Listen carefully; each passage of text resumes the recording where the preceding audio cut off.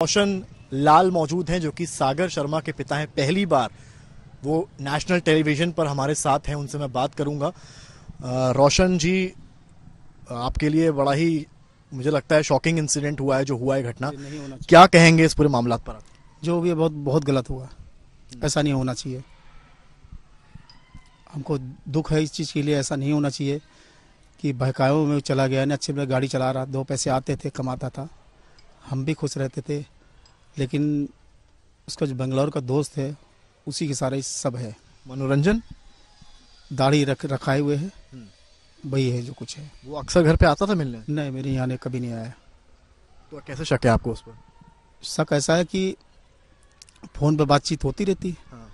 तो बिटिया बेटे ने बिटिया ने एक बार फ़ोन उठाया कहने लगे पापा ये दोस्त है बेंगलोर वाला इतना हमको पता है। बहन को शक था कि ये कुछ गड़बड़ है? नहीं गड़बड़ नहीं वो मनोरंजन की तरफ़। हाँ हाँ, बात करता था ये। तो आपको क्या आप लोगों ने रोकने की कोशिश करी कभी?